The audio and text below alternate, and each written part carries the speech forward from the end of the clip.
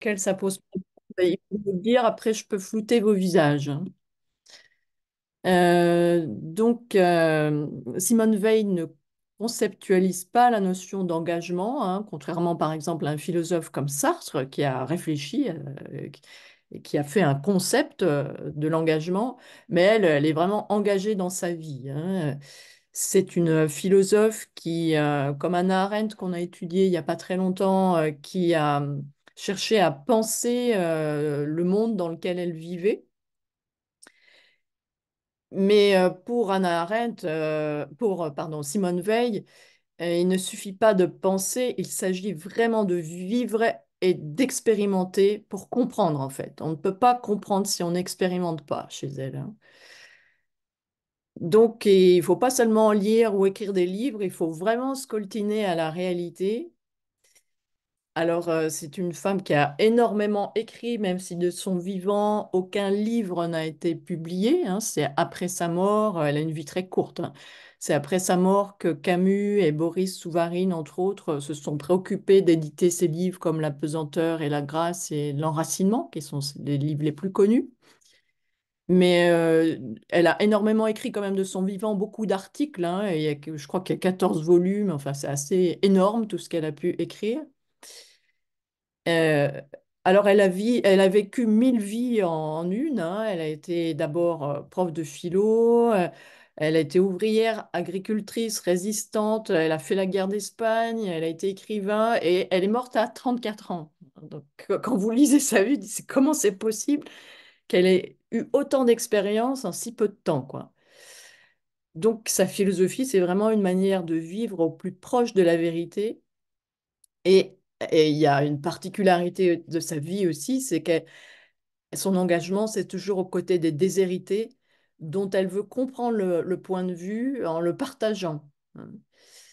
Donc, ce qui caractérise sa vie, c'est qu'elle a vécu selon ses principes, elle a une vie spirituelle très riche, elle a aussi une très grande indépendance d'esprit.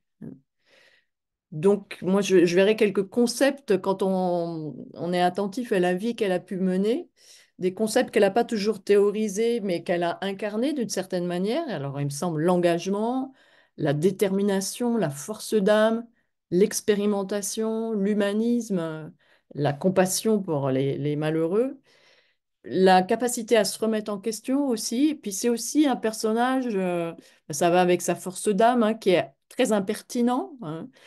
Euh, elle a dialogué avec Trotsky, euh, voilà, elle dit qu'elle n'était pas du tout d'accord avec certains points de sa doctrine. Mais vraiment, elle n'était pas impressionnée. Elle devait avoir 24 ans, hein, quand même pas, quand elle a discuté avec lui. Alors que c'était quand même un personnage très imposant. Et elle, elle discute avec les patrons d'usines dans lesquels elle a travaillé, avec pas mal d'impertinence et parfois beaucoup d'humour aussi, parce qu'on la voit souvent comme un personnage assez austère, mais c'est quelqu'un qui, je pense, avait aussi de, de l'humour. hein. Alors ça, c'est les concepts qu'elle a, on pourrait dire, incarnés à travers sa vie, mais c'est aussi, euh, elle a, elle a formalisé ensuite dans sa philosophie des concepts euh, qu'elle a travaillés en tant que philosophe. Euh, et ces concepts-là, alors je vous l'ai dit en- un petit peu en vrac, on les avait étudiés parce que j'ai déjà fait une série d'ateliers sur Simone Veil. Euh, mais là, je voudrais vraiment axer sur la notion d'engagement. Alors, ces, concepts, pe- peut-être qu'on en reparlera, c'est celui de force qu'elle a théorisé. Alors, pour elle, la force, c'est quelque chose de négatif qu'elle euh, assimile aussi à la pesanteur, c'est-à-dire, c'est- pour elle, dès qu'un un être humain a la possibilité d'u- d'utiliser la force ou la violence, ben, en fait, il le fait, quoi. Rien ne le retient. hein, euh, Souvent d'ailleurs parce qu'il n'a pas vraiment conscience de ce qu'il inflige à euh, la personne qu'il va soumettre, par exemple. Il ne voit pas le problème, en fait. hein. Et qu'est-ce qui peut nous permettre de sortir de ça? Euh, c'est aussi une philosophe euh, qui a été touchée par la spiritualité. hein. C'est quelque chose qui serait de l'ordre de la grâce, qui fait que parfois, un homme qui peut euh, en humilier un autre euh, ne, ne le fait pas. hein. Mais il y a quelque chose de l'ordre presque du miracle. Donc, elle conceptualise la, force euh, et la grâce aussi qui s'opposent, hein, ou la pesanteur d'un côté et la grâce de l'autre, le malheur, l'expérience du malheur, l'enracinement. Bon, je ne vais pas les développer maintenant, hein, mais je vous, je vous les énonce comme ça. L'enracinement, l'importance du concept d'attention, ce qu'elle appelle aussi le concept de décréation. Elle a une, euh, une métaphysique euh, tout à fait particulière. Elle ne pense pas que, euh, alors je ne sais pas si c'est très orthodoxe par rapport à la religion catholique, mais que Dieu a créé, elle dit plutôt qu'il a décréé, il a laissé un espace à sa création. hein. donc, euh, et elle, elle se voit un petit peu comme ça aussi, c'est la- laisser un espace. Et elle a un concept qui est un petit peu étrange, qui vient du grec, s'appelle le concept de métaxou, M-E accent aigu T-A-X-U. Et c'est l'idée de l'intermédiaire. A une sorte de métaphysique de la médiation. Alors, par exemple, dans la figure du Christ, elle voit une médiation entre les hommes et Dieu. hein. Mais elle cherche à mettre de la médiation. euh, enfin, en tout cas, c'est un concept important. Même dans sa vie, je pense qu'elle a cherché à être une intermédiaire. Et puis enfin, le concept de beauté qu'elle va aussi théoriser. Oui, et encore un autre concept, c'est celui de contradiction, c'est-à-dire que C'est un personnage euh, qui, alors pour le coup, là, ça, marche à la fois dans sa vie et puis dans sa pensée, parce qu'elle l'a théorisé. C'est que c'est une personne qui s'est contredite dans sa vie. hein. Par exemple, euh, en 1936, elle était pacifiste, elle est très engagée du côté de- des pacifistes euh, après ce que, la, la deuxième, la Première Guerre mondiale. hein, euh, mais euh, quand, euh, dès, le début de la guerre d'Espagne, en fait, bah non. Et puis quand elle voit, au tout début, quand Hitler envahit la Tchécoslovaquie, elle reste pacifiste. Et puis finalement, bah, non, elle, elle est plus pacifiste. Elle dit là, il faut faire quelque chose. D'ailleurs, elle s'engage dans la guerre d'Espagne. Et euh, donc, euh, donc elle, peut changer d'avis, euh, de même qu'elle était très attirée par les, révolutionnaires, et en même temps, elle est partisane du dialogue social. Donc, elle, a pu se contredire dans sa vie, mais elle n'en est pas moins incohérente. hein. Chez, elle, la cohérence et la contradiction ne s'opposent pas d'ailleurs. euh, ce qui, elle, elle- est, ça veut dire qu'elle n'est pas rigide en fait. Elle peut changer d'avis en fonction de ce qui se passe, en fonction des expériences justement qu'elle fait. Elle, va moduler, cha- changer ses façons de voir. Donc sur, sur, les, sur sa vie, je vais essayer de reprendre les principales étapes, mais si vous allez tout simplement sur Wikipédia, vous verrez, je trouve que la, notice Wikipédia est très bien faite, elle est très approfondie. Et euh, donc ça donne vraiment une idée de son parcours euh, qui est très très riche. Alors, je donne des étapes qui montrent un petit peu le, personnage, si vous voulez, euh, auquel on a affaire. Donc, elle est née dans un milieu juif non pratiquant, d'une famille bourgeoise. Son père était chirurgien mi- militaire et son grand frère a été un très grand mathématicien. Euh, voilà, alors, euh, alors, il y a une anecdote, on raconte qu'à qu'à, qu'à 6 ans, Euh, elle avait du sucre et elle a dit non, non, le sucre, il faut le donner aux soldats, c'est c'est pas pour moi. hein. Donc, et toute sa vie, elle a fait ça, en fait. hein. Euh, ensuite, elle, a fait des études, très brillante, euh, auprès du, du philosophe Alain, qui a marqué par la suite sa pensée, même si après, elle était en désaccord sur un certain nombre de points avec lui. Euh, donc, elle a passé l'agrégation de philosophie qu'elle a obtenue. Alors euh, là, pour vous dire un petit peu le personnage, elle a été prise à l'école normale et là, elle, organise une cagnotte pour les chômeurs et euh, elle demande au directeur de l'école normale, euh, bah, est-ce que je peux organiser cette cagnotte? Alors le directeur dit oui, bon, il participe même et il dit surtout ne, dites pas que j'ai participé parce qu'il ne voudrait pas qu'on l'assimile aux communistes. hein. Alors elle, en fait, elle fait un stand où elle met la cagnotte et elle écrit au-dessus du stand, faites comme notre euh, directeur, donnez anonymement pour les chômeurs. Donc vous voyez le genre de personnage très provocateur, ce n'est pas dépourvu d'humour. Alors le directeur, évidemment, il n'a qu'une hâte, c'est qu'elle s'en aille, ce qui se produit. hein. Elle s'en va, elle est nommée au, au Puy-en-Velay où elle va donc enseigner la philosophie. Et là, tout de suite, elle est solidaire des, des ouvriers, il y a des mouvements de grève euh, contre les baisses de salaire. Et elle, elle défile dans les rues avec les ouvriers. Puis là, il y a pareil le, recteur de l'académie qui lui dit euh, Mais c'est pas votre rôle, vous êtes professeur, vous n'avez pas à montrer vos opinions politiques. euh, si ça continue comme ça, on va vous mettre dehors. Elle dit Bah oui, c'est tout à fait logique qu'on me mette dehors, vous m'étonnez pas du tout. Donc là aussi, elle est un peu provoque. Euh, bon, enfin, ceci dit, elle, continue quand même à enseigner. Alors, elle sympathise avec les ouvriers. hein. Il faut imaginer une femme à cette époque-là. euh, Elle va taper le carton avec les ouvriers, elle boit des coups avec eux, et elle arrive à, s'intégrer tout à fait à, ces milieux-là. hein. Et là, là, comme quand elle était petite, elle décide, avec sa paye d'agrégée, de garder que 5 francs par jour, le, même salaire que touchaient les, les chômeurs, en fait, et tout le reste de sa paye, elle le met dans, la caisse des grévistes.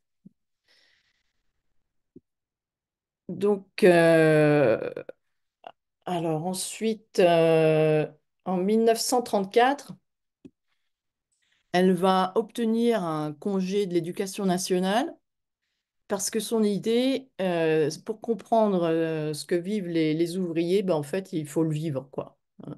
Donc, euh, elle, euh, elle va aller travailler en usine.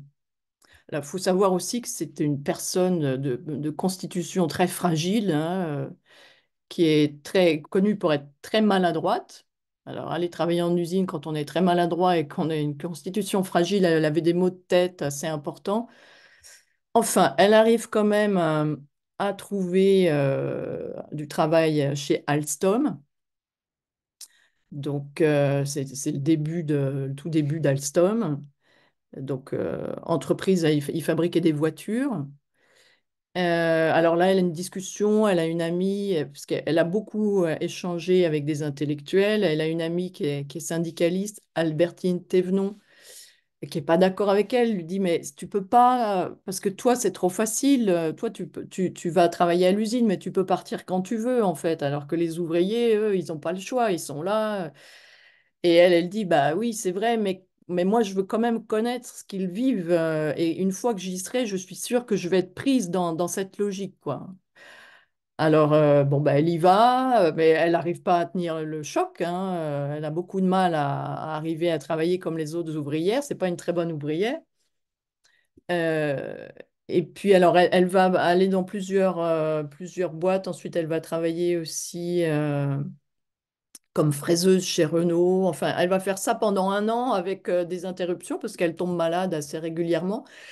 Alors ensuite, ce qui est très intéressant, je trouve, c'est de lire son journal d'usine parce qu'elle raconte tous les jours euh, comment ça se passe à l'usine, quoi. Et, elle écrit des lettres aussi à ses amis pour décrire un petit peu ce qui s'y passe. Alors, son journal d'usine, elle dit que elle l'écrit à la fois pour témoigner, mais elle pour se souvenir de qu'est-ce qu'on vit quand on est à l'usine, quoi. Et elle veut jamais l'oublier, hein, puisque son idée, c'est on ne peut vivre, on ne peut connaître les réalités humaines que si on les vit quand même.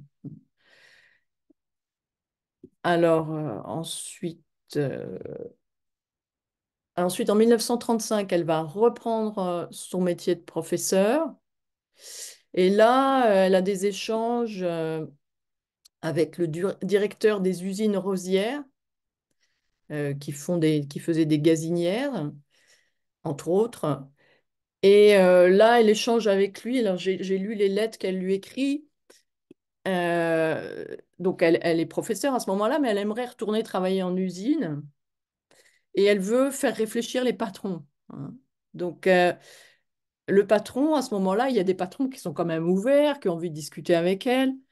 Il lui dit, ben, on a un petit journal dans mon usine pour que les ouvriers puissent s'exprimer. Si vous voulez, vous pouvez écrire dedans. Euh, Alors, elle, elle écrit un article, et puis dans cet article, en fait, elle, demande aux ouvriers, ben, écrivez-moi tout ce que vous vivez, mal euh, au travail, toutes les difficultés que vous rencontrez. euh, euh, est-ce que ça vous épanouit ou est-ce que ça vous abrutit? Elle demande ça aux ouvriers. Puis alors le, patron, quand il lit qu'elle leur demande ça, il dit non, non, non, non, il n'est pas du tout d'accord. Alors là, il y a des échanges assez drôles parce que elle dit oui, bah oui, c'est bien logique.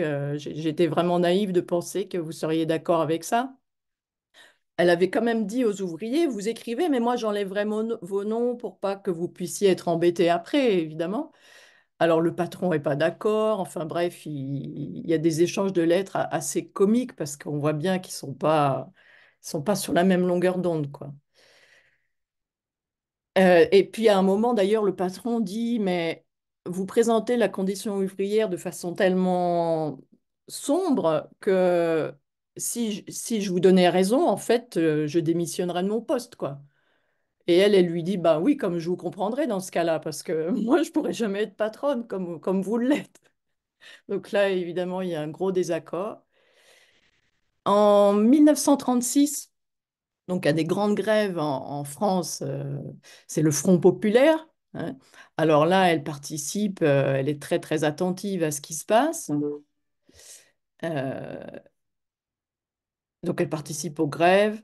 Et puis ensuite, en, en août, euh, oui, en, août 1936, bah, la guerre d'Espagne euh, éclate.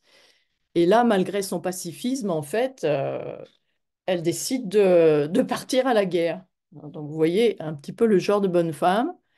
Et puis, à, ce moment-là, elle, elle, elle échange avec Georges Bernanos. Alors, elle, elle part à la guerre du côté des républicains.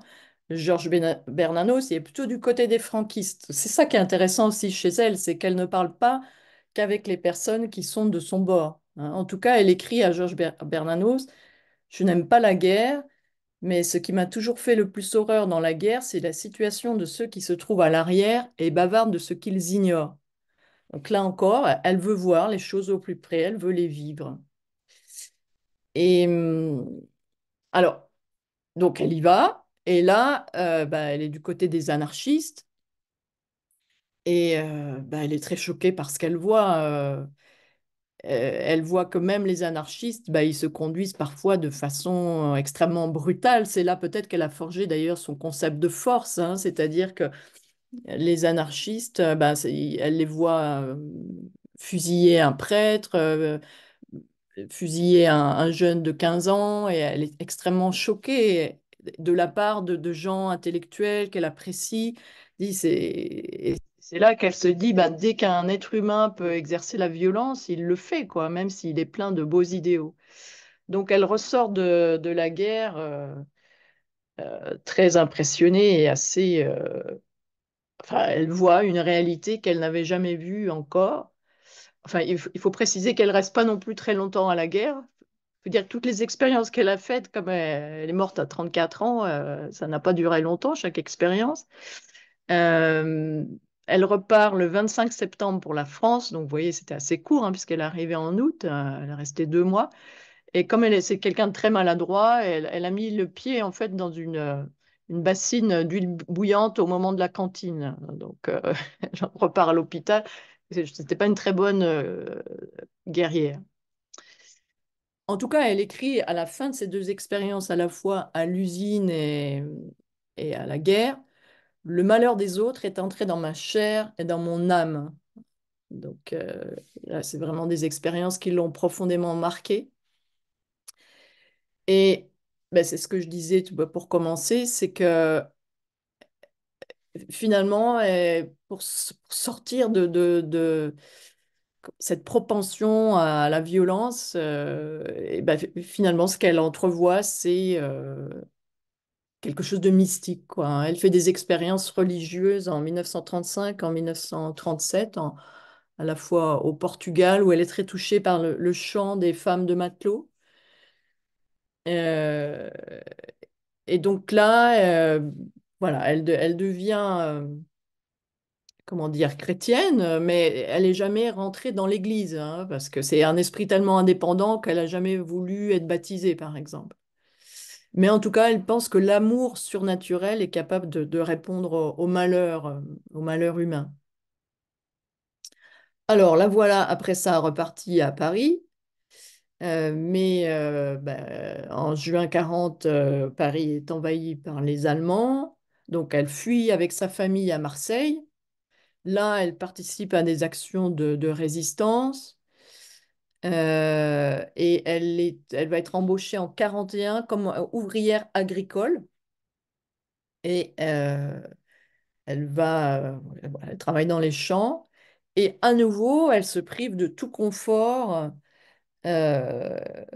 en donnant ses tickets d'alimentation au profit des résistants. En 42, elle s'embarque avec sa famille pour les États-Unis, mais elle ne veut pas rester à New York, euh, qu'elle ressent comme trop confortable. Et euh, elle se rend en Grande-Bretagne, où elle arrive en fin novembre 42. Là, elle va travailler euh, comme rédactrice dans les services de la France libre, où De Gaulle la charge de rendre un rapport sur la situation morale de la France. Donc là, elle écrit des, des grands textes. euh, elle a écrit une note sur la suppression générale des partis politiques. Euh, elle écrit son texte qui s'appelle L'enracinement. Elle parle euh, de l'importance, euh, après la guerre, de penser à la décolonisation. Et puis, mais alors, elle, elle écrit c'est énormément, mais en même temps, elle, ce qu'elle souhaite, c'est être parachutée en France comme infirmière, euh, comme infirmière de première ligne. Et euh, bah, De Gaulle euh, dit que, et Maurice Schumann disent que c'est hors de question parce que de toute façon, vu comme elle est maladroite, euh, elle va servir à rien. Elle ferait mieux de, de réfléchir pour la France. Mais elle, euh, elle, elle supporte pas en fait de ne pas être en- envoyée en France. Et euh, bah, elle va, elle, va se... Alors on ne sait pas trop comment elle est morte, mais elle va mourir en Angleterre. hein. Euh, Elle, meurt de tuberculose, elle, est malade. Et alors on ne sait pas, elle, elle s'alimente plus. Enfin voilà, elle, meurt de... Non, pardon, elle meurt d'une crise cardiaque hein, dans un sanatorium. À l'âge de 34 ans, elle meurt dans la- elle va mourir dans la plus grande solitude. Voilà, donc c'est une vie, une espèce de météorite. euh, et elle nous lègue des, écrits euh, qui sont, qui sont vraiment très, enfin, je trouve profonds, intéressants. Alors, pour les, ateliers que, que je vous propose, je vous propose de... Parce que c'est énorme, en fait, sa pensée. hein, donc, On va pas pouvoir, euh, en cinq séances, euh, faire le tour de tout ce qu'elle a pu penser. Mais ce que je vous propose, c'est de, voir trois thèmes, son rapport au travail, son rapport à la guerre et euh, son rapport au colonialisme qu'elle a critiqué. hein. Donc, euh, c'est ces trois terrains-là sur lesquels elle s'est engagée et sur lesquels elle a réfléchi. Donc, euh, en ce qui concerne le, travail, elle a écrit un texte qui s'appelle Les réflexions sur les causes de la liberté et de l'oppression sociale, dans lequel elle s'oppose, enfin, elle est- elle- c'est une grande lectrice de Marx, mais en même temps, elle, euh, n'est pas d'accord avec lui sur certains points. Elle dit que les causes, entre autres, de l'aliénation sont à rechercher non pas dans la structure de la production euh, et dans les rapports euh, de lutte des classes, mais à rechercher aussi dans l'activité productrice qui réduit l'ouvrier à n'être qu'un outil. hein. donc, elle, critique, si vous voulez, chez les marxistes et ensuite chez les communistes, l'idée que bah, ils auraient dû se pencher davantage sur les conditions du travail industriel elle critique l'industrie euh, et elle dit que c'est complètement aliénant. euh, elle le sait bien puisqu'elle l'a vécu. hein. Donc, ce que je vous propose, alors, c'est des textes qui sont pas toujours faciles à lire. Alors, j'ai eu du mal à, choisir des textes. Enfin, j'en ai quand même trouvé. Mais ce que je vous propose aujourd'hui, c'est de commencer par une lettre qu'elle a écrite à, un homme qui s'appelle Auguste Deteuf. Alors, je vous dis le contexte de la lettre. Donc, euh, Auguste Deteuf, c'est le fondateur d'Alstom et euh, l'administrateur de, de cette, euh, de cette entreprise en 1928. C'est un polytechnicien. Il est très marqué par ce, par ce qu'il se passe en 1936, hein, le Front populaire, euh, les congés payés, des conditions, les ouvriers qui cherchent à avoir des conditions un peu plus humaines de travail. Mais il n'est pas fermé à ça. Il euh, cherche à mettre en place un groupe de réflexion. Et euh, bah, il, elle, discute avec elle. D'ailleurs, c'est par Auguste de Theuves qu'elle a réussi à avoir un poste chez Alstom, hein, parce que vu comme elle était maladroite et tout, elle aurait peut-être pas pu euh, obtenir un poste. Mais enfin, c'est grâce à lui qu'elle obtient un poste. Et là, ils, ils discutent tous les deux et ils ont une très vive discussion. Ils sont pas du tout d'accord. Euh, elle a l'impression qu'il se, elle s'est mal faite comprendre et elle lui écrit donc euh, une lettre. Et ce que je vous propose, c'est de, c'est d'analyser cette lettre. Alors, du coup, c'est c'est pas de la philosophie et comment dire, euh, c'est pas un ouvrage de philosophie, c'est une lettre aussi liée à son expérience. Mais c'est peut-être une façon de, de rentrer dans, dans sa pensée, puis en même temps dans, dans sa vie, quoi. hein. Alors, je, donc, pour lire cette lettre, je l'ai mise sur un Google Doc. que je, dont je vais vous envoyer le lien.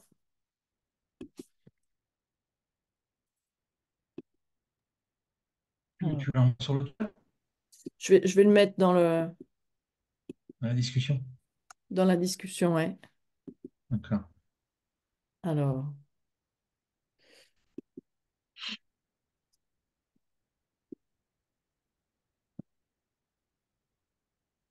voilà, j'ai mis dans la discussion. Si vous cliquez, normalement, vous allez arriver sur le, sur le texte.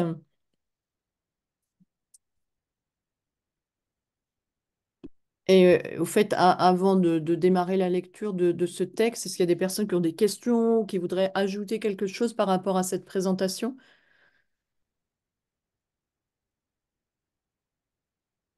Non, pas pour l'instant. Oui, Antoine? que- que- quel âge elle avait quand elle a travaillé comme ouvrière? Donc, c'est en 34, donc elle avait 25 ans. 25 ans. Ouais, D'accord. Et donc, quand elle est partie en Espagne, elle avait 26, ouais, c'est ça, c'est ça. 25, 26, euh, Ouais, ouais, ouais. ouais. D'accord. Alors, bah, si vous voulez, euh, alors euh, il y a un, prof de philo qui s'appelle Alexis Daillon qui a fait plein de livres audio de, Simone Veil, super bien lus. Alors, ce que je vous propose, il, a lu cette lettre, je vous propose de euh, l'écouter en train de la lire, et en même temps, vous l'avez sous les yeux. Donc, excusez-moi de vous oui. interrompre. Moi, j'arrive pas là, je n'arrive pas à trouver le lien là sur, euh, Alors, il est dans sur la... tablette. Alors, je suis embêté. peut-être. Ah, ouais. Sur une tablette. ouais, j'aurais dû préciser qu'avec une tablette. Ça marche pas, ça. euh, D'accord. ouais. Et vous n'avez pas aussi un téléphone? Si, j'ai aussi un téléphone. Ah ben, donc, vous pouvez. euh, donc, je vais vous envoyer. Je vais vous envoyer le lien par mail sur votre téléphone. hein. Et comme ça, vous pourrez suivre sur votre téléphone. Ok, merci.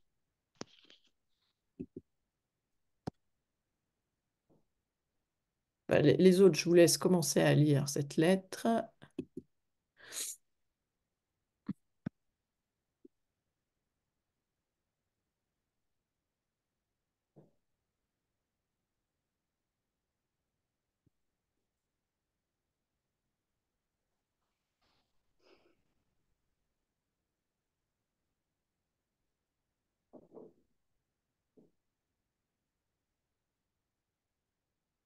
Voilà, je vous l'ai envoyé sur votre euh, mail.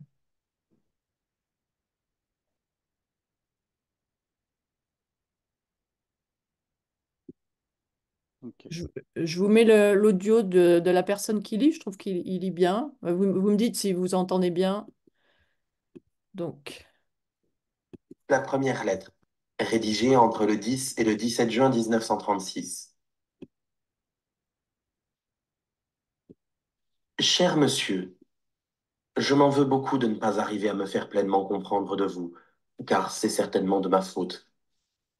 Si mon projet doit se réaliser un jour, le projet de rentrer chez vous comme ouvrière pour une durée indéterminée, afin de collaborer avec vous de cette place à des tentatives de réforme, il faudra qu'une pleine compréhension se soit établie auparavant. J'ai été frappé de ce que vous m'avez dit l'autre jour, que la dignité est quelque chose d'intérieur qui ne dépend pas des gestes extérieurs. Il est tout à fait vrai qu'on peut supporter en silence et sans réagir beaucoup d'injustices, d'outrages, d'ordres arbitraires, sans que la dignité disparaisse. Au contraire, il suffit d'avoir l'âme forte. De sorte que si je vous dis par exemple que le premier choc de cette vie d'ouvrière a fait de moi pendant un certain temps une espèce de bête de somme, que j'ai retrouvé peu à peu le sentiment de ma dignité seulement au prix d'efforts quotidiens et de souffrances morales épuisantes, vous êtes en droit de conclure que c'est moi qui manque de fermeté. D'autre part, si je me taisais, ce que j'aimerais bien mieux, à quoi servirait que j'ai fait cette expérience? De même, je ne pourrais pas me faire comprendre tant que vous m'attribuerez, comme vous le faites évidemment, une certaine répugnance soit à l'égard du travail manuel en lui-même, soit à l'égard de la discipline et de l'obéissance en elle-même. J'ai toujours eu, au contraire, un vif penchant pour le travail manuel, quoique je ne sois pas doué à cet égard, c'est vrai, et notamment pour les tâches les plus pénibles. Longtemps, avant de travailler en usine, j'avais appris à connaître le travail des champs. Foin, moisson, battage, arrachage des pommes de terre, de 7 heures du matin à 10 heures du soir. Et malgré des fatigues accablantes, j'y avais trouvé des joies pures et profondes. Croyez bien aussi que je suis capable de me soumettre avec joie et avec le maximum de bonne volonté à toute discipline nécessaire à l'efficacité du travail, pourvu que ce soit une discipline humaine. J'appelle humaine toute discipline qui fait appel dans une large mesure à la bonne volonté, à l'énergie et à l'intelligence de celui qui obéit. Je suis entré à l'usine avec une bonne volonté ridicule et je me suis aperçu assez vite que rien n'était plus déplacé. On ne faisait appel en moi qu'à ce qu'on pouvait obtenir par la contrainte la plus brutale. L'obéissance telle que je l'ai pratiquée se définit par les caractères que voici. D'abord, elle réduit le temps à la dimension de quelques secondes. Ce qui définit chez tout être humain le rapport entre le corps et l'esprit, à savoir que le corps vit dans l'instant présent et que l'esprit domine, parcourt et oriente le temps, c'est cela qui a défini à cette époque le rapport entre moi et mes chefs. Je devais limiter constamment mon attention aux gestes que j'étais en train de faire. Je n'avais pas à le coordonner avec d'autres, mais seulement à le répéter jusqu'à la minute où un ordre viendrait m'en imposer un autre. C'est un fait bien connu que lorsque le sentiment du temps se borne à l'attente d'un avenir sur lequel on ne peut rien, le courage s'efface.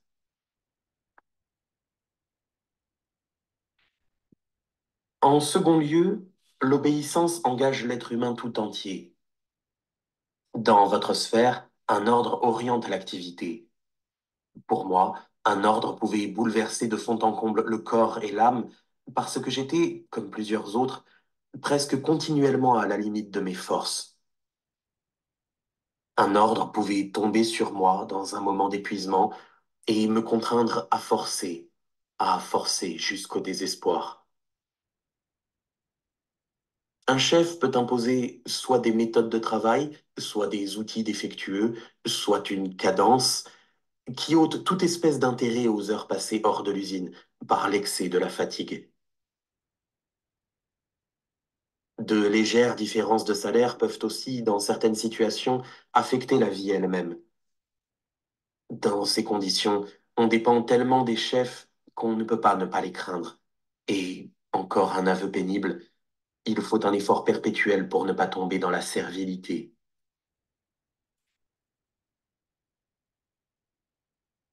En troisième lieu, cette discipline ne fait appel, en fait de mobile, qu'à l'intérêt sous sa forme la plus sordide, à l'échelle des sous et à la crainte. Si on accorde une place importante en soi-même à ces mobiles, on s'avilit. Si on les supprime, on se rend indifférent aux sous et aux engueulades. On se rend du même coup inapte à obéir avec la complète passivité requise et à répéter les gestes du travail à la cadence imposée. Une aptitude promptement punie par la faim. J'ai parfois pensé qu'il vaudrait mieux être plié à une semblable obéissance du dehors, par exemple à coups de fouet, que de devoir ainsi s'y plier soi-même en refoulant ce qu'on a de meilleur en soi. Dans cette situation, la grandeur d'âme qui permet de mépriser les injustices et les humiliations est presque impossible à exercer. Au contraire, bien des choses en apparence insignifiantes, le pointage, la nécessité de présenter une carte d'identité à l'entrée de l'usine, chez Renault, la manière dont s'effectue la paye, de légères réprimandes, tout cela humilie profondément, parce que cela rappelle et rend sensible la situation où l'on se trouve. De même pour les privations et pour la faim.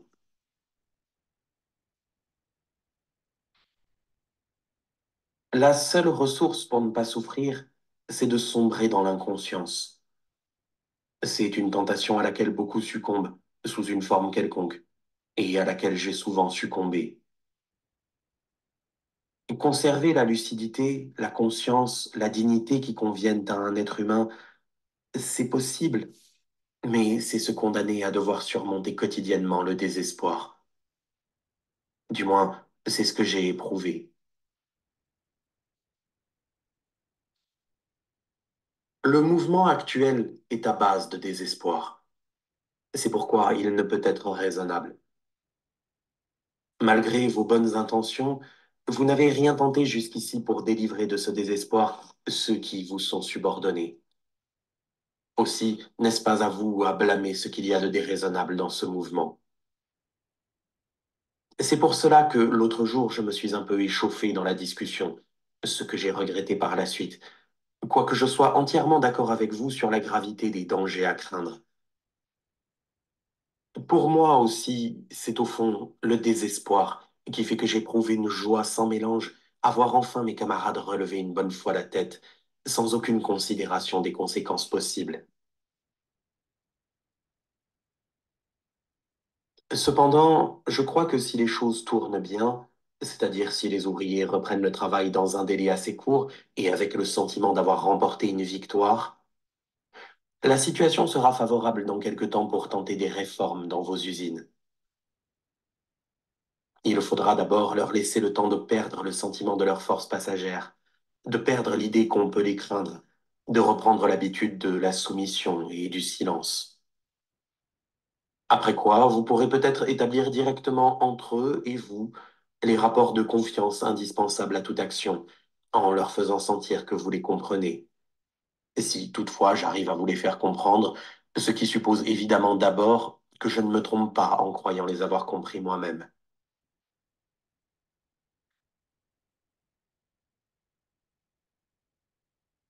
En ce qui concerne la situation actuelle, si les ouvriers reprennent le travail avec des salaires peu supérieurs à ceux qu'ils avaient, cela ne peut se produire que de deux manières.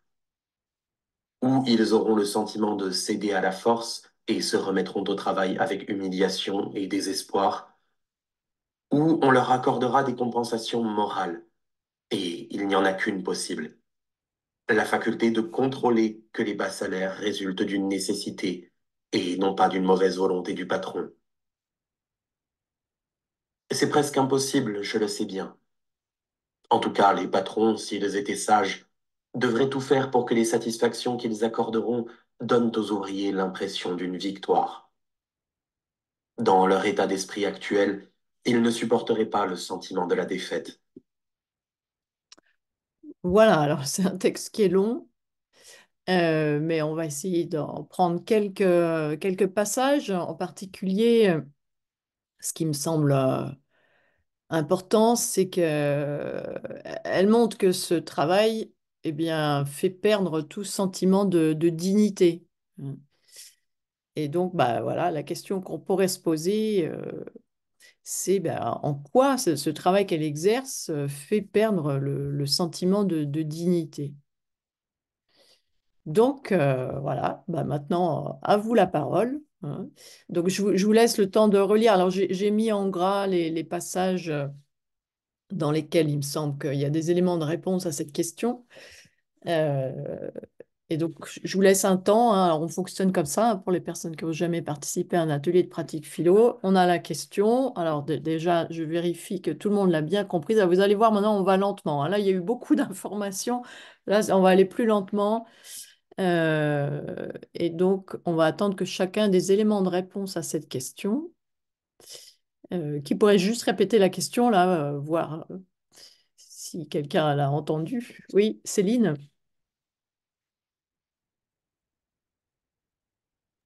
Voilà, le temps que je réactive mon son. Donc, la question, c'est en quoi le travail en question fait-il perdre la dignité? Voilà, c'est ça. Je, vous laisse un petit temps pour euh, reprendre euh, le texte et, juste là, euh, vous répondez comme si vous étiez Simone Veil. Qu'est-ce qu'elle pourrait bien répondre à cette question?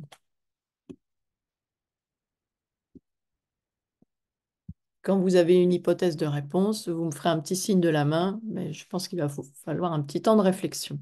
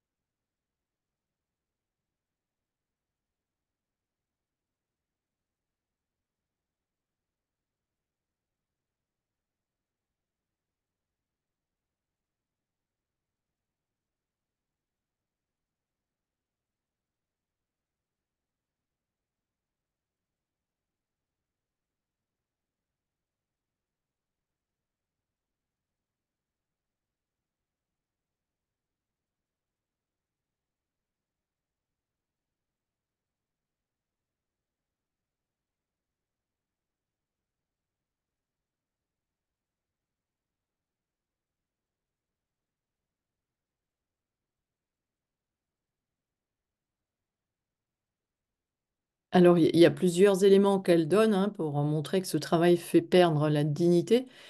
Euh, est-ce qu'il y a des personnes qui, pour l'instant, n'en ont pas encore trouvé un? Non. Euh, si personne se manifeste, j'en déduis que tout le monde a trouvé au moins un élément qui montre que ce travail fait perdre la dignité. Oui. Alors, bon, on, va démarrer du coup. Hein. Euh, bah voilà, bah qui, qui, veut répondre à la question alors, et, là je dis pour les personnes qui n'ont pas l'habitude, alors maintenant il y a un exercice qui est difficile, c'est que vous, vous avez trouvé votre réponse, mais vous allez écouter la réponse que quelqu'un d'autre va donner. Puis si ça se trouve, vous, votre réponse, euh, vous la donnerez pas, on verra bien ce qui se passe. Mais là, on se concentre sur la personne qui va parler. Alors, qui euh, veut se prononcer Une hypothèse de réponse pourquoi, selon Simone Veil, ce, travail fait perdre la dignité? Alors, bah, oui, ah, Nathalie, vas-y. Moi, je, je, je, voulais insister sur le mot sentiment de dignité, plus que la dignité. Mhm.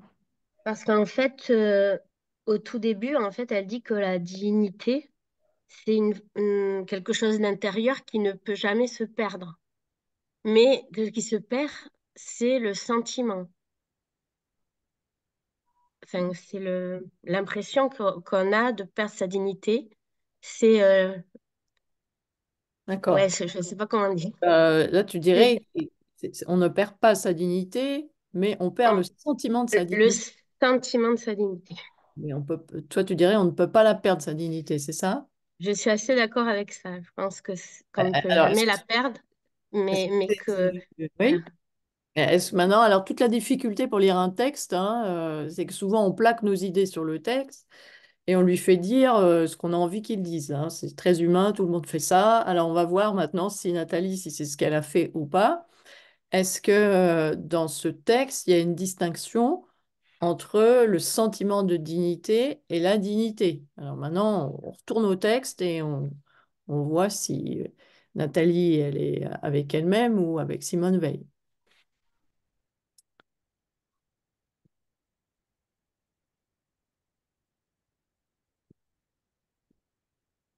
Euh, dans la première partie du texte, euh, il semble quand même qu'elle note qu'elle a retrouvé peu à peu le sentiment de sa dignité seulement au prix d'efforts euh, quotidiens et de souffrances morales épuisantes.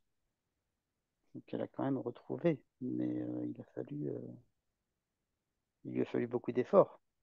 Il lui, a, il lui faut des efforts pour retrouver sa dignité. Considérable, en tout cas ce sentiment de dignité. Alors du coup, est-ce que tu réponds à la question? Parce que Nathalie, elle nous dirait qu'elle fait une distinction entre le sentiment de dignité et la dignité. Alors, est-ce qu'il y, a une distinction entre les deux ou qu'est-ce que tu en penses, Pierre? Hmm. Ou est-ce que c'est en gros la même chose? Si j'ai le sentiment de ma dignité, alors je suis digne. Et si j'ai pas le sentiment de ma dignité, je serai indigne. Oups. J'ai pas la réponse. Ouais. Alors, on est parti sur cette piste-là avec Nathalie. Euh, est-ce qu'il y a une distinction entre être digne et avoir le sentiment de sa dignité? Autrement dit, ce que tu disais, ah, c'est que... apparemment, elle, semble pouvoir, euh, elle, euh, recouvrir à une dignité, en fait. Oui. Elle peut, elle peut retrouver une dignité, mais alors. Alors, est-ce qu'il est y a une différence? J'ai envie de dire ah. non y a une distinction entre sentiment de dignité et dignité. Hein. Alors, on va voir, hein, les personnes qui lèvent la main, tu, vois, il y a une règle du jeu, au fait, j'ai oublié de dire aux personnes, c'est qu'on lève la main avant de prendre la parole parce que ça permet de, de ralentir aussi la réflexion pour, pour pouvoir prendre le temps de réfléchir. Allez, vas-y, Antoine, est-ce que tu verrais une différence entre dignité et sentiment de dignité?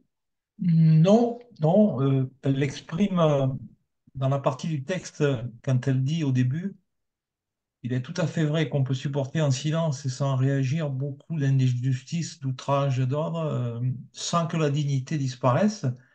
Donc elle parle de dignité et après, elle explique et elle dit, euh, pendant un certain temps une espèce de bête de somme que j'ai retrouvé peu à peu le sentiment de ma dignité seulement. Donc, euh, elle part de dignité et ce sentiment, c'est la même chose. Pour toi, ce serait la même chose. Et- et si j'ai le sentiment de ma dignité, alors je suis digne. C'est ça? C'est- C'est-à-dire que elle, elle le dit, elle le dit clairement que le fait de sentir sa dignité, c'est qu'elle l'avait perdue. Et donc, euh, Oui. le sentiment, c'est simplement le- la perception qu'elle a, quoi. Oui. Hein, donc, si je n'ai plus le sentiment de ma dignité, en quelque sorte, on peut dire que je l'ai perdu. Tout à fait. Ouais. Ça, ça te va, Nathalie? Enfin, je l'ai perdu à mes propres yeux, en tout cas. Oui, voilà, je pense que je l'ai perdu à mes propres yeux. Oui. Alors ensuite, peut-être que l'autre me verra quand même digne, mais en tout cas, je l'ai perdu à mes propres yeux. Oui. OK. Alors, revenons à... Bon, on est on est bon. Alors, euh, finalement, euh, si elle n'a plus de dignité à ses propres yeux, alors, euh, si elle n'a plus ce sentiment, alors elle n'est plus digne. Alors, mais maintenant, revenons à la question, euh, qu'est-ce qui fait perdre le, le sentiment ou la dignité dans le- le- l'expérience qu'elle a vécue, euh, Céline?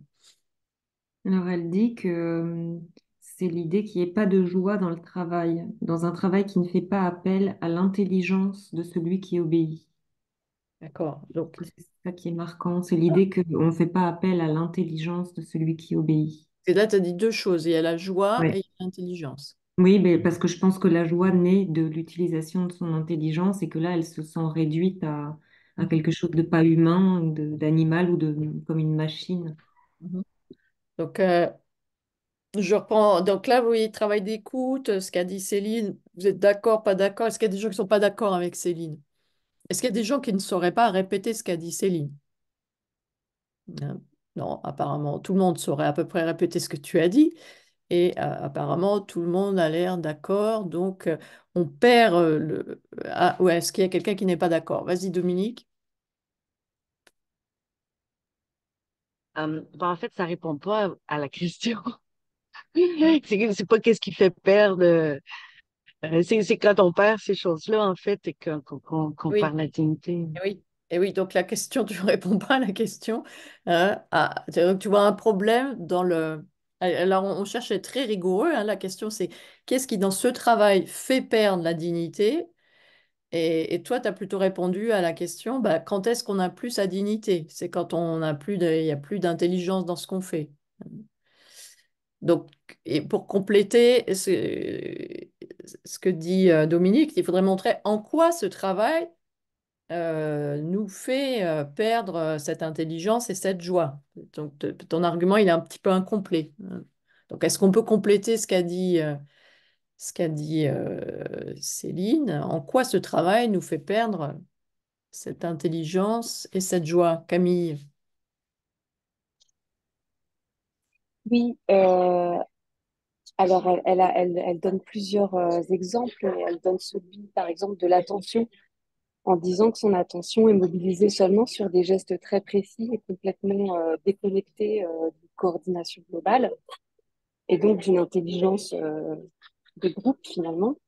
Et puis elle parle aussi du rapport au temps, en disant que son, son rapport au temps est sollicité sur des temps très courts, des, des secondes, Oui, alors Camille, il faut que, fractionné, quoi. il faut que tu articules et que tu fasses des phrases courtes parce que le son n'est pas très bon.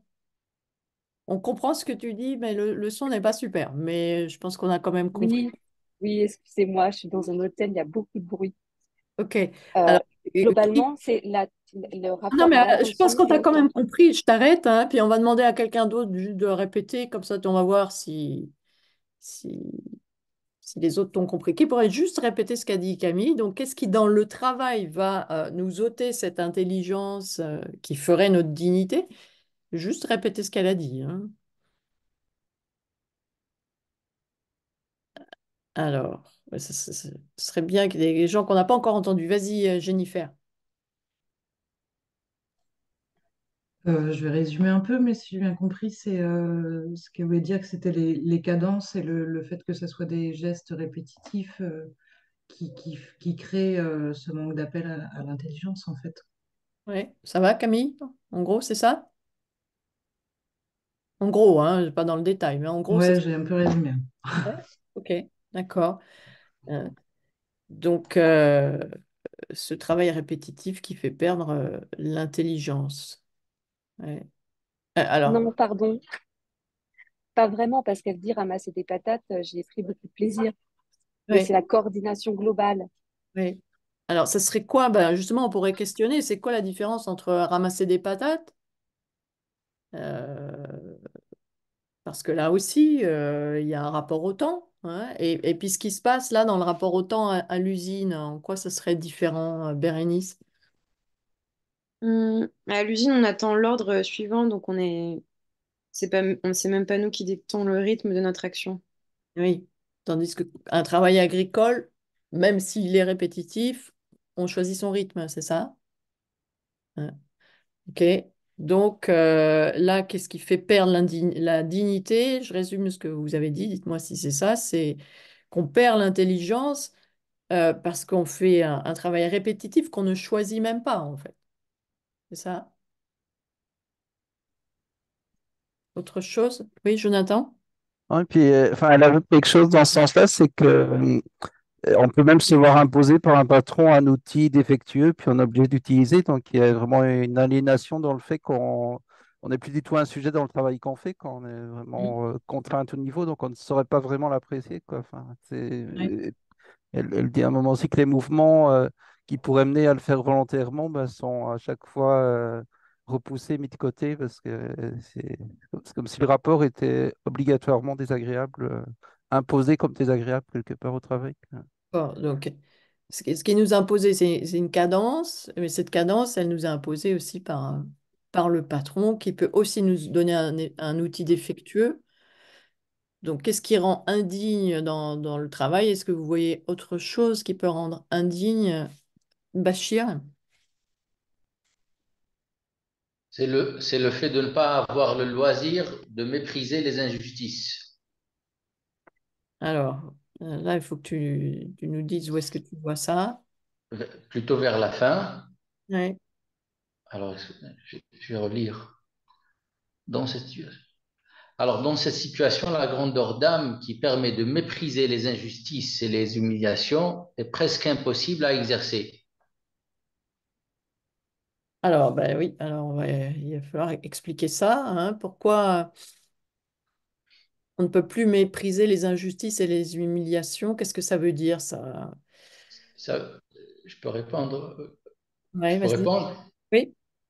Euh, en fait, parce qu'auparavant, elle avait dit que euh, on s'interdisait de, de penser, parce que lorsqu'on pense, justement, on va penser aux injustices et, ça, et à sa propre, situation. Et que ça pouvait engendrer donc des réactions et euh, ce qu'elle s'interdit, ce ce qu'elle, c'est ce chose qu'elle s'interdisait. Ok, donc là, on a, on a encore autre chose dans, dans- dans le fait que ce travail nous rend indigne. Là, on a une autre idée. hein. Jusqu'ici, c'était les conditions du travail, euh, le patron qui impose euh, sa cadence, etc., ses outils défectueux. Mais là, euh, il y a encore une autre idée qui apparaît dans ce que vient de nous dire Bachir. Euh, est-ce que vous sauriez juste reprendre ce que dit Bachir euh, dans, vos mots, enfin, ou réexpliquer le, passage auquel il fait référence? Est-ce qu'il y a des personnes qui ne voient pas où est ce passage? C'est bon, tout le monde voit où il est? Oui. Allez, vas-y, Dominique. En fait, c'est l'idée de, je pense, tu me dis, me corrigeras, bah, Bachir, si c'est pas ça, euh, de choisir soit l'incons- l'inconscience euh, euh, au lieu du désespoir, en fait. Pour la grandeur d'âme, tu peux la garder, mais tu vas être malheureuse et désespérée, ou tu sombres dans l'inconscience, comme la bête, un peu. Ok. Hein, ça va? c'est là de dignité, parce qu'on n'est pas capable de maintenir cette grandeur d'âme. Ça, ça va, cette distinction que fait Dominique? Est-ce que quelqu'un ne comprend pas la distinction qu'elle vient de faire? Alors, nous, on va lentement jusqu'à ce que tout le monde ait compris. hein. S'il y a quelqu'un qui ne comprend pas, ok, il y a Jennifer qui ne comprend pas, mais alors on va demander à qui peut, il était la, seule à ne pas comprendre, en tout cas à manifester que tu n'as pas compris, ça se trouve, il y en a d'autres. Euh, qui peut juste euh, réexpliquer ce qu'a dit euh, Dominique? Ah, tout le monde avait l'air d'avoir compris, mais... ok, Eh ben, Nathalie?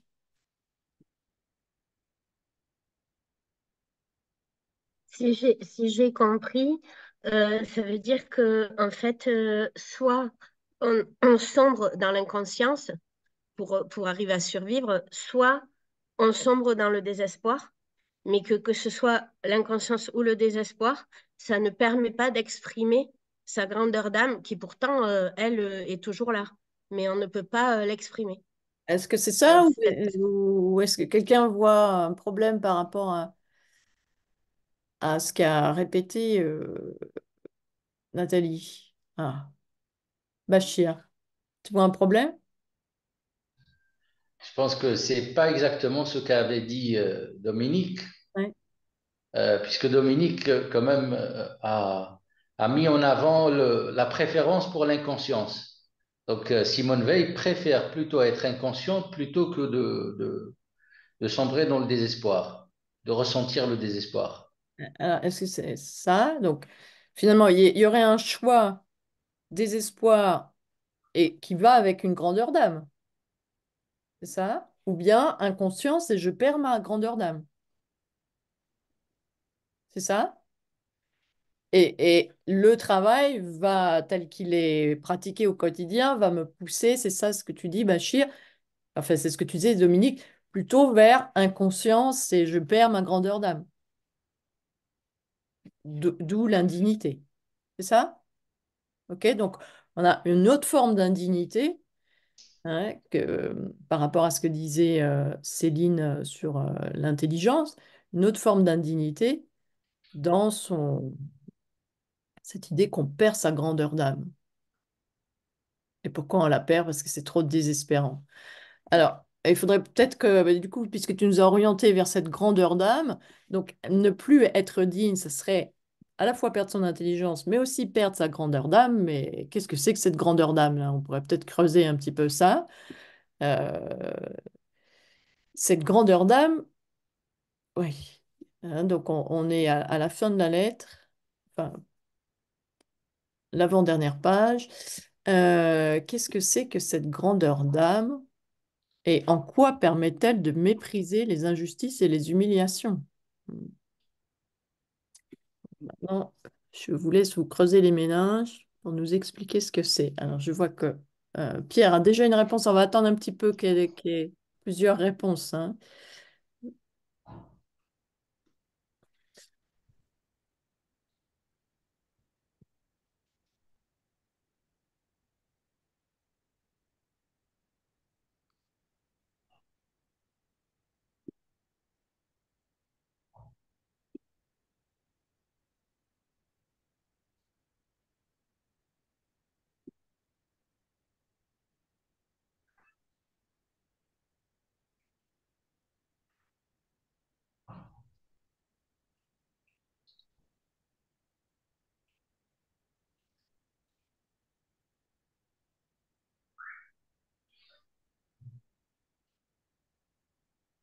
Et je vois qu'il y a deux personnes qui ont une réponse. En plus, je vous ai posé deux questions. Alors, je demandais qu'est-ce que c'est que la grandeur d'âme et en quoi elle nous permet de, de comment elle dit, Euh, de mépriser les injustices et les humiliations? Ça fait beaucoup. Normalement, je devrais poser qu'une question à la fois. Bon, alors on va voir à celle euh, auquel vous avez répondu. Il me semble qu'il y a pas mal de personnes qui ont levé la main. Alors, puis c'était Pierre en premier. Alors, Pierre, vas-y, on t'écoute. À, à quelle question tu réponds? Plutôt la définition de la, de la grandeur d'âme ou... j'étais plus là-dessus, Ouais, effectivement, euh, vas-y. Ouais. qui, euh, qui se rapporte bien justement euh, au terme de dignité. Finalement, la grandeur d'âme, c'est notre propre dignité, pour moi, un peu, j'ai l'impression. Ça me semble que c'est euh, notre capacité d'a- à, à- à conserver une, prise de conscience dans les actes qu'on est en train de, dans les, dans les, dans les actes qu'on est en train de faire. Enfin, dans le, là, c'est en l'occurrence dans le travail qu'elle fait, mais. euh, et après, justement, cette capacité de prise de conscience de, de, de, de, repérer les injustices et les humiliations, quoi, qui sont liées euh, à son statut de, de, soumis euh, à un travail répétitif, en fait, qui l'empêche de, qui l'empêche de réfléchir, qui l'empêche de, qui, qui, qui l'empêche, ouais, je sais pas. Donc, euh, ouais, je, j'y vois un peu, j'y vois un lien direct, moi, entre la dignité et la grandeur de l'âme, en fait. C'est moi. Je sais pas si vous m'entendez, j'ai un, un problème de son là. Qu'est-ce qui se passe? euh? Vous m'entendez? Oui, Oui. Ah oui, ok, non, mais ça, ça a coupé un moment. Ok, ça y est, c'est bon, je vous entends. Euh, donc ça a coupé à la fin de ta prise de parole, Pierre. Euh, Mhm. du coup, euh, qu'est-ce que tu en penses de ta réponse? C'est quoi la grandeur d'âme? Ouais. Donc, je- on, on travaille là-dessus. Tu, vois, la question c'est Ouais. comment définir la grandeur d'âme? On, on voit si la personne a répondu à la question ou pas. Et tu as dit la grandeur d'âme, c'est la dignité? Moi, j'ai entendu ça dans ce que tu as dit.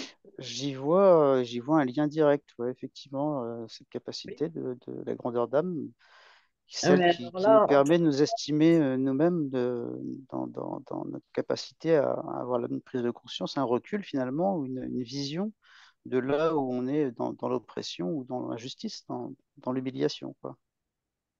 alors, La dignité, euh, ouais, qui serait, euh, qui serait, euh, qui serait affectée par, par notre incapacité à, à la prise de conscience, en fait. Je sais pas si je suis clair.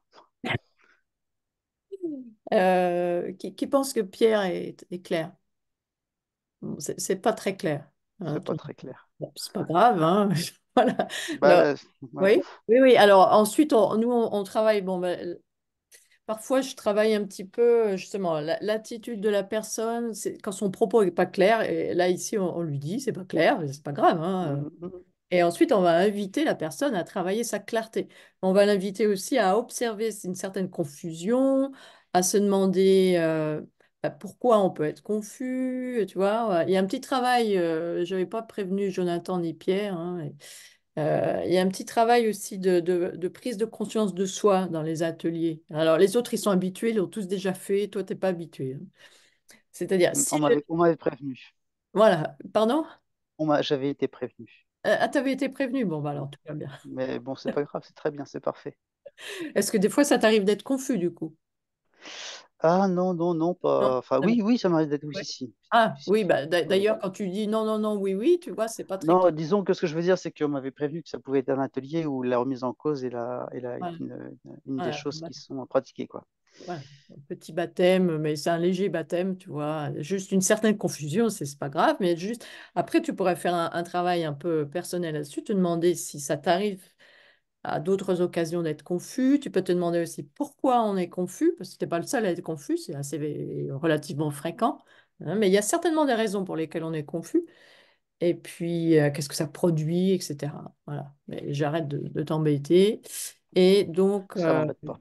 bon, voilà, tant mieux alors. Euh, il faut quand même que ça embête un petit peu, un tout petit peu, pour que je fasse bien mon travail. Bah, je suis, je suis embêté de pas être compris, ça c'est sûr. Voilà. Ah, ok, d'accord. Bon, alors on, on va, on va voir, on en était à... Bah, tu vois ce que ça peut produire la confusion, c'est qu'après, on est perdu. Euh, la question, c'était quoi? C'était... Euh, oui, qu'est-ce que c'est que la grandeur d'âme et en quoi elle nous permettrait de mépriser euh, l'humiliation et l'injustice? Qui, qui aurait une autre proposition? Antoine, Moi, je dirais la compassion. La grandeur d'âme, ça serait la compassion. La compassion. Mhm. Tu nous as dit d'ailleurs que Simone Veil euh, avait beaucoup travaillé sur, et qu'elle avait beaucoup de compassion. Oui, alors, mais euh, on va rester sur ce texte-là. Est-ce que dans ce texte-là, euh, la compassion permet, c'est de mépriser les injustices et les humiliations. Si on a de la compassion et qu'on voit les autres ouvriers, on, va mépriser euh, les injustices et les humiliations.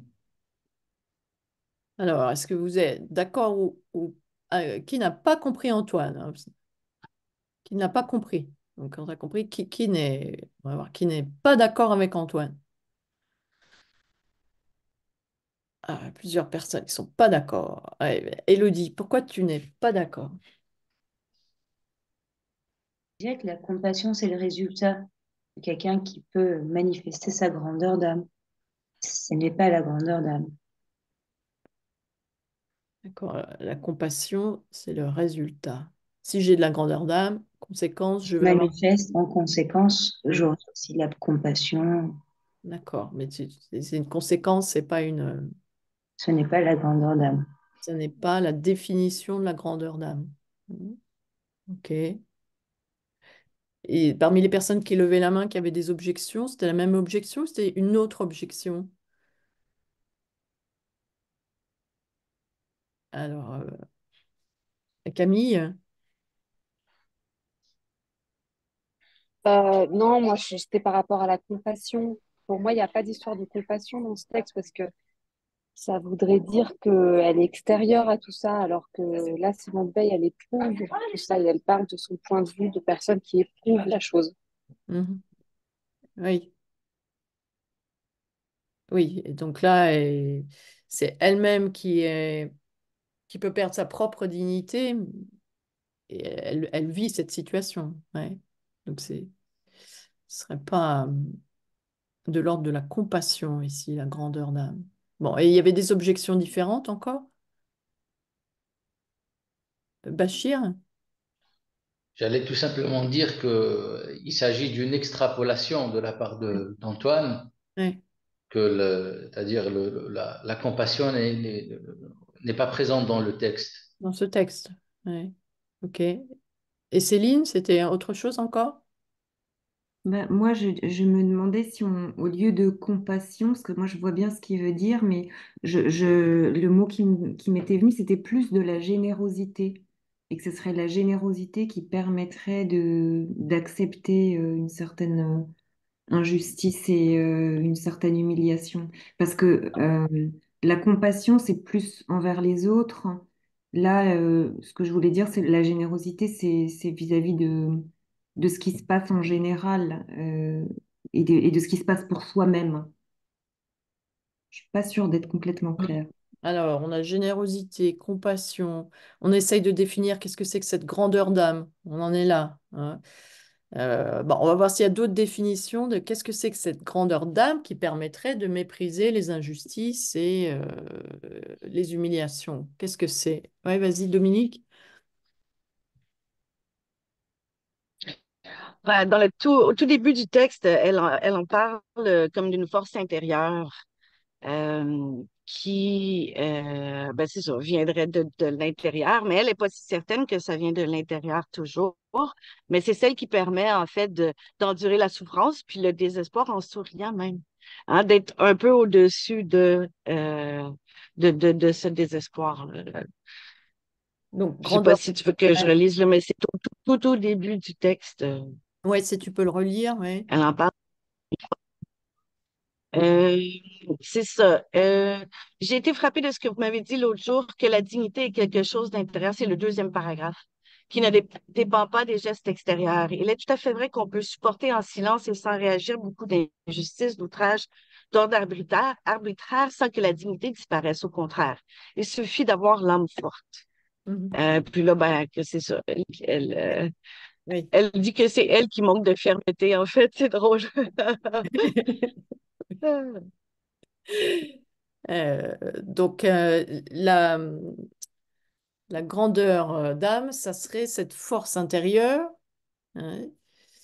Euh, mais alors, en, en quoi cette force intérieure, euh, elle nous permettrait de, de, de- de mépriser, hein, parce que pour l'instant, on n'a pas tellement parlé du mépris, mépriser les injustices et les humiliations, parce que qui a une force d'âme, c'est celui qui, va dénoncer les injustices et les humiliations, ou celui qui les méprise? euh, en quoi mépriser euh, les injustices et les humiliations serait-il preuve d'une grandeur d'âme?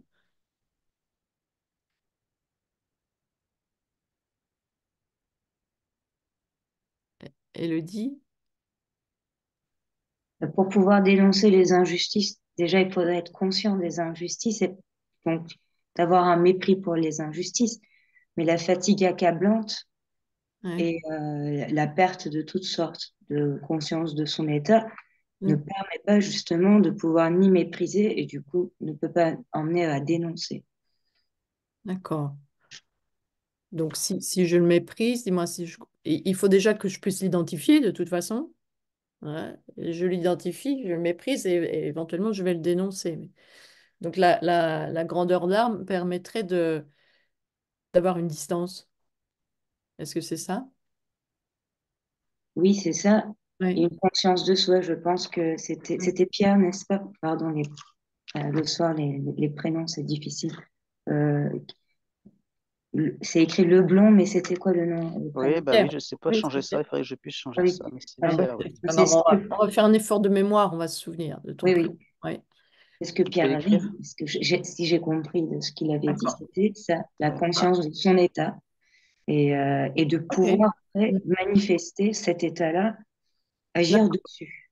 Ok. Mm. Alors, voilà, tu vois, tu as quelqu'un qui t'a qui t'a compris. Oui, je suis content. Donc, euh, c'est ça, c'est ce que tu avais parlé de conscience. Grandeur d'âme, j'ai conscience. J'ai conscience, euh, il y a une conscience, donc une distance hein, euh, qui va permettre de, mépriser et ensuite éventuellement de dénoncer. hein. La grandeur d'âme impliquerait une prise de conscience. Est-ce qu'il y a des personnes qui ne sont pas d'accord avec ça? Bachir, ah, Bachir et Nathalie. Alors, bah, vas-y, Bachir. Je pense que euh, Simone Veil parle plutôt de lucidité et conscience. C'est ce qui définit pour elle, vers la fin du texte, le, le- la grandeur d'âme.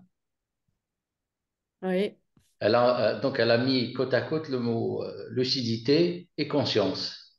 d'accord, mais euh, ça marche un peu ensemble, non? Pour avoir la lucidité, il faut que j'ai conscience. Oui, mais si ça marche ensemble, pourquoi elle a mis les deux mots? Oui, mais c'est pas vraiment une objection du coup. C'est plutôt un complément ce que tu fais. Euh, non, parce que je, euh, par rapport à Pierre, c'est ça? Oui. Oui, enfin, euh, oui. Donc on est, on en, on en était là. La grandeur d'âme, elle implique une conscience, donc une capacité à avoir l'injustice, à la mépriser et peut-être éventuellement la dénoncer. Hein, On avait fait ce cheminement. Et là, je demandais qui n'est pas d'accord, tu as dit que tu n'étais pas d'accord et tu as parlé de lucidité. Oui, oui, oui. Parce que pour moi, comment j'ai compris les deux mots, donc il y a la lucidité d'un côté et la conscience qui est différente de la prise de conscience. La conscience, ça a quelque chose de moral dans, dans- dans cette phrase. Dans quelle phrase? Euh, alors,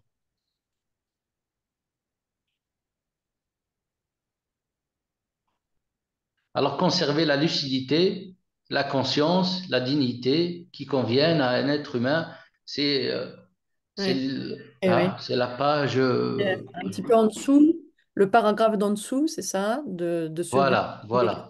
d'âme. D'accord. Conserver la lucidité, la conscience, la dignité qui conviennent à un être humain. D'accord. Ok. Et donc, euh, donc, donc, donc, euh, toi, tu, tu dis que là, il est question de conscience morale. C'est ça? Je pense qu'il y a, c'est un ensemble de, de- de choses qu'elle décrit. La lucidité, la conscience et la dignité, c'est ce qui fait la grandeur de- d'âme dont elle parlait euh, juste avant. Mais euh, est-ce que ça contredit ce que disaient Pierre et Élodie? Moi, quand j'ai écouté Pierre, c'était plutôt la prise de conscience. Il a parlé de prise de conscience et je ne Ouais. pense pas que ce soit exactement la même chose. Alors, Est-ce qu'il est question de... Donc, on a, on a plusieurs termes là. On a prise de conscience, conscience morale, euh, lucidité. Est-ce que tous ces termes-là, ils marchent avec grandeur d'âme déjà? Ou bien est-ce qu'il y a des... Parmi ces termes, les termes, non, non, ça va pas du tout avec grandeur d'âme. Est-ce qu'il y a des personnes qui pensent... Donc, tous ces termes-là, ils peuvent marcher avec grandeur d'âme. Alors maintenant, comment est-ce que... Comment est-ce qu'ils s'agencent pour euh, montrer qu'il y a personne qui aurait une grandeur d'âme, elle a... euh, Oui, vas-y, Jennifer. Ben moi, je... Pardon. Je dirais que la conscience, euh, c'est pas la conscience de, euh, du mépris, enfin, des conditions de travail difficiles, tout ça, du, du travail aliénant. C'est la conscience de, de, de- je crois qu'elle dit à un moment de ce qu'il y a de meilleur en soi, quoi.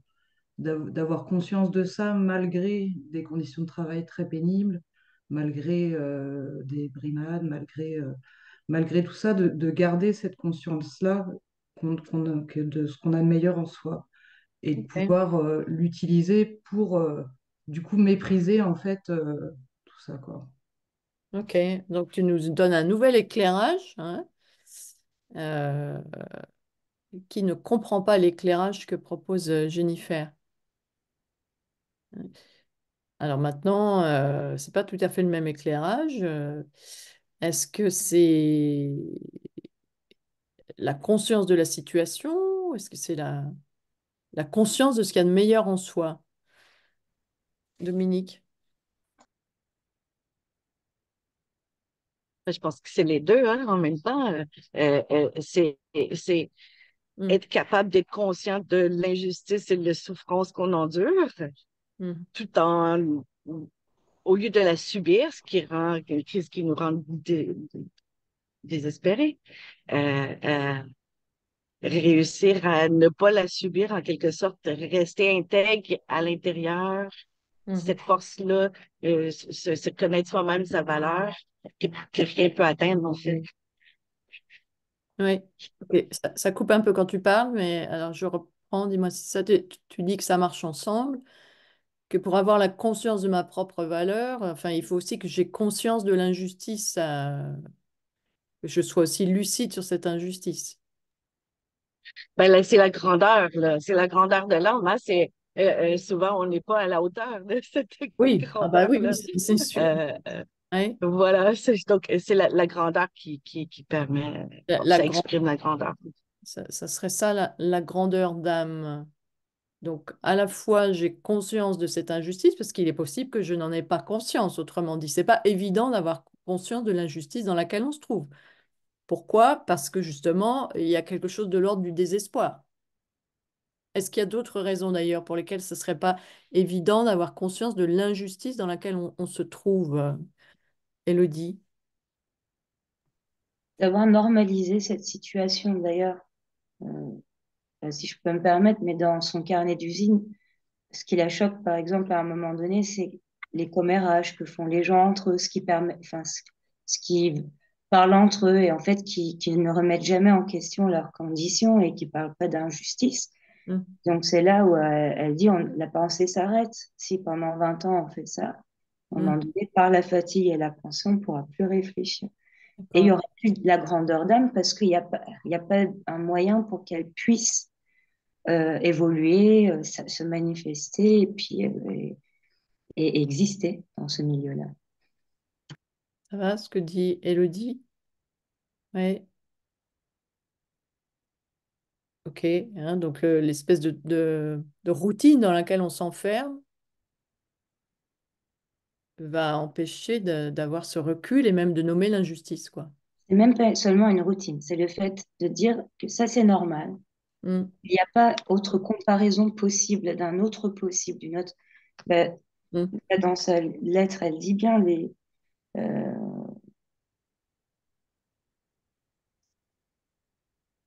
les disciplines font appel à la fois à la bonne volonté, à l'éner- à l'énergie, à l'intelligence. Les, les disciplines humaines. Il n'y a, ni la- il y a aucun de ces trois, Mm. ni la bonne volonté, ni l'énergie, ni l'intelligence qui est sauvegardée.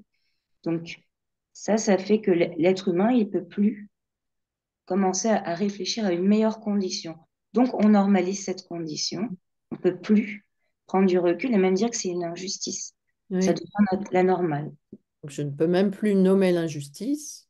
Et donc là, je, j'en perds ma grandeur d'âme. Donc, euh, hein, pour avoir la grandeur d'âme, il faut pouvoir nommer cette injustice et, et en même temps ne pas s'y laisser réduire.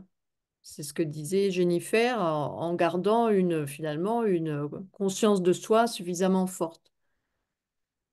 Parce que pourquoi c'est si difficile en fait de nommer l'injustice? Mettons que je, veuille sortir. Alors, il y a ce que tu dis, c'est ce phénomène de normalisation. Est-ce que vous voyez d'autres raisons pour lesquelles c'est si difficile de nommer l'injustice? euh Et puis là, je vois que Jonathan, il a disparu. Alors, je ne sais pas si on ne voit plus ton écran si tu... Ouais. Et peut-être pour te réveiller un peu, là, euh, tu aurais une hypothèse, Jonathan, pourquoi c'est difficile de nommer l'injustice? Euh, bah, ça peut être aussi pour ne pas perdre le revenu, quoi, parce que il- elle parle qu'il y a une histoire de, de sous euh, qui, est qui est Oui. impliquée, qui, Mm. euh, que la contestation euh, n'est pas trop forcément autorisée ou attendue dans, Oui. dans ce Mm. contexte. Pourquoi c'est difficile si je nomme l'injustice et je vais dire à mon patron, là, j'en peux plus de votre cadence, votre outil, il ne marche pas, euh, bah, je vais avoir une retenue sur salaire. hein. donc, euh, effectivement, où je vais être mise dehors. Donc, très difficile de nommer l'injustice parce que ça a des conséquences. Est-ce que vous voyez d'autres problèmes dans le fait de nommer l'injustice, euh, Bérénice? Euh, ça nous pose comme des victimes, c'est pas très agréable. Oui, hein, je suis une victime. Si je nomme l'injustice, ça peut signifier ça. hein. Autre chose, euh, Dominique?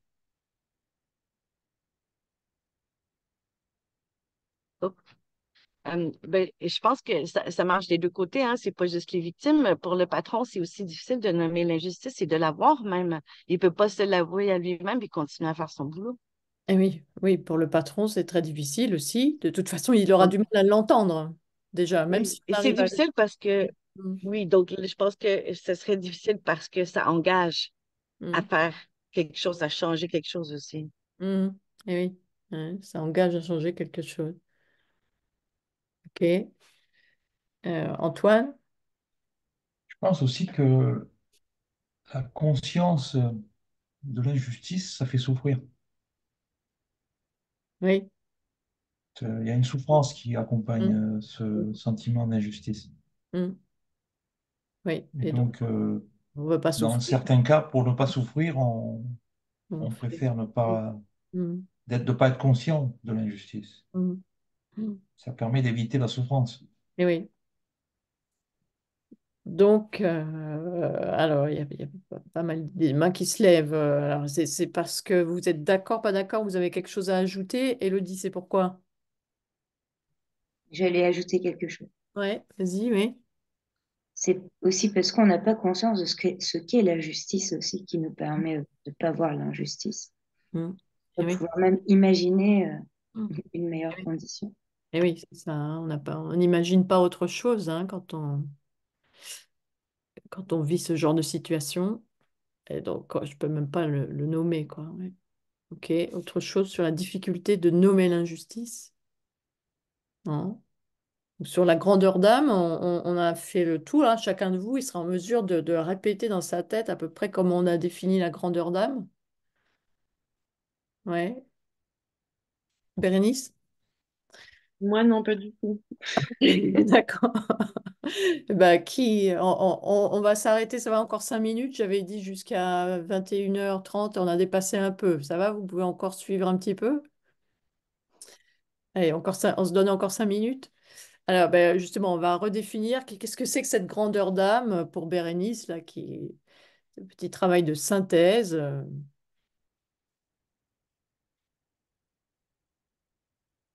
Juste reprendre ce qu'on a dit, hein, qui peut faire ça. Antoine?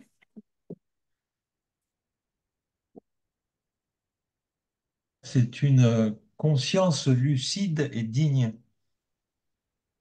Ouais, donc là, c'est une synthèse très ramassée.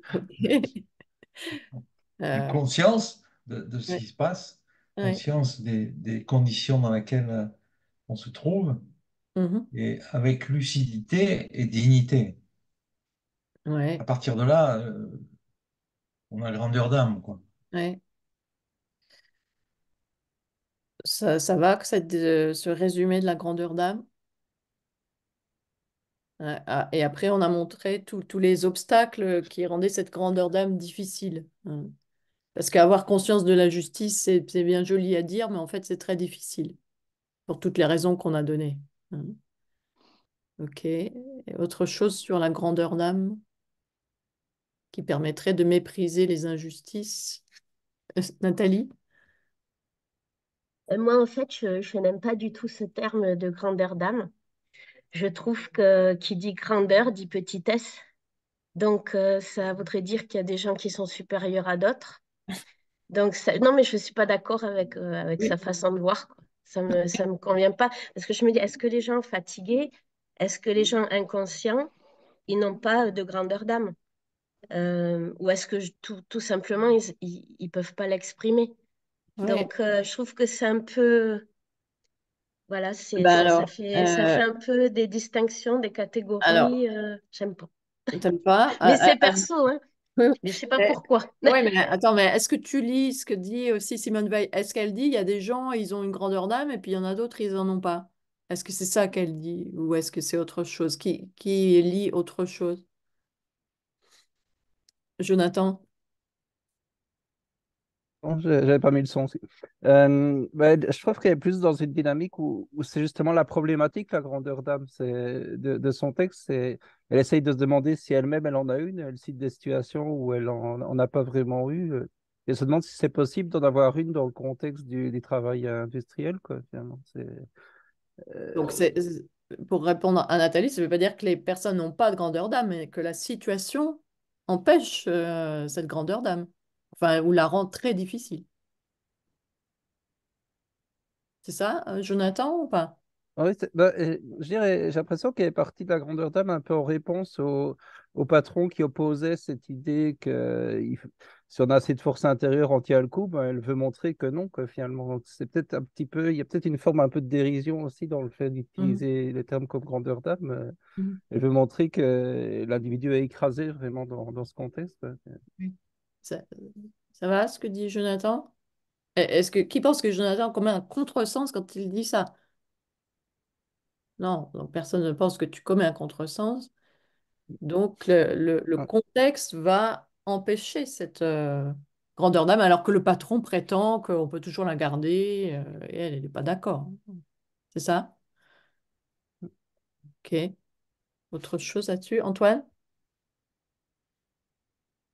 Le texte, euh, conserver la lucidité et la conscience conviennent à un être humain. Donc la grandeur d'âme, la grandeur d'âme, c'est ce qui convient à tout être humain. mm. Mais, mais il la perd dans Oui. certaines conditions. Donc, Mais, mais c'est tout le monde qui doit, qui, qui l'a, en fait. Et c'est de se retrouver dans des situations Mm. comme là, dans, dans, dans le travail qu'elle mène, qu'on on, on la perd. On la perd pour ne pas souffrir et, et, et- et être dans le désespoir, quoi. Ça va. Qui, n'est pas d'accord avec Antoine? Elodie, tu n'es pas d'accord avec ce? Oui, elle dit qu'il est impossible à exercer. Dans cette situation, la grandeur d'âme qui permet de mépriser les injustices et les humiliations est presque impossible à exercer. Pas une perte, il y a un manque de conditions qui permettent d'exercer ce genre de capacité en nous. C'est pas qu'il y en a qui sont supérieures ou inférieures ou qu'elle disparaît, c'est qu'elle peut pas se manifester. Elle ne peut pas se manifester. Elle est là, mais elle est... elle peut pas, elle est étouffée, quoi. Mm. Oui, bon, ça, ça, à peu près, ça va dans le sens de ce que disait Antoine. Céline, Oui, moi je voulais juste de proposer un autre mot, c'est que j'avais l'impression qu'on aurait pu dire, c'est comme si c'était un potentiel qui ne pouvait pas s'actualiser dans cette condition-là, mais qu'on avait tous ce potentiel. ça, te va, Nathalie? Est-ce que ça, ça, ça a du sens avec, par rapport au texte? Oui, ok, donc il y a des situations. Bon, alors maintenant, ce texte, est- il y a peut-être encore pas mal de choses à dire. On pourrait se demander, euh, en actualisant, est-ce qu'il y a encore aujourd'hui... euh, euh, alors évidemment, euh, elle dit dans un autre texte euh, que le mot travailleur, il est tellement différent selon l'endroit où on se trouve, même selon l'endroit où on se trouve dans l'usine, et évidemment selon l'endroit où on se trouve sur la planète. Bon, alors maintenant, est-ce que ce texte peut avoir encore du sens aujourd'hui par rapport au, travail que, bah, que vous connaissez? On va prendre le... hein, vous demanderez qui pense à avoir déjà vécu des, situations au travail dans lesquelles, euh, alors c'est peut-être pas aussi dur que ce qu'elle raconte, je sais pas, mais qui pense avoir déjà vécu des choses comme ça complètement aliénantes, quoi, qui réduisent complètement euh, l'être humain. Ouais. Ok, oui, ok. Donc il y en a pas mal qui ont déjà vécu ça. Bah, euh, peut-être donc euh, on, on va s'arrêter, hein, mais peut-être la semaine prochaine on pourra reprendre aussi sur l'actualisation, hein, parce que là elle nous décrit des conditions qui sont celles de 1936. On pourrait se demander dans quelle mesure ça a changé. Alors, le travail à la chaîne n'est plus tout à fait le même, mais bon, est-ce que le travail peut être aussi aliénant? Autrement dit, est-ce que ce texte a encore un écho aujourd'hui? hein? Euh, voilà, donc je vous propose de réfléchir à ça pour la semaine prochaine, hein, sur la- l'actualité du texte. Donc, je pense qu'on restera avec ce même texte, l'actualité du texte, et puis on n'a pas parlé de la notion d'engagement. euh, peut-être, je vous renverrai un petit mail, hein, réfléchir au rapport entre l'engagement et ce texte, puisque elle, elle cherche, euh, dans quelle mesure elle s'engage en tout cas, et qu'est-ce que ça pourrait vouloir dire l'engagement pour chacun de nous aussi. Voilà, donc ça nous fait trois pistes pour la semaine prochaine. Est-ce que il existe encore des situations comparables à ce qu'elle décrit? Dans quelle mesure elle, elle s'engage et qu'est-ce que ça peut signifier pour chacun de nous s'engager? Ok, eh ben, on, on va s'arrêter là pour aujourd'hui. Et bonne suite à vous. On voit des grosses voitures derrière toi, Dominique, grosses voitures américaines qui passent. Et toi, tu es là sur ta petite chaise. Mobile. Allez, bah, allez, au revoir, bonne Bonne soirée. soirée, bonne soirée. revoir. Bonne soirée. Ouais. Au revoir. Au revoir.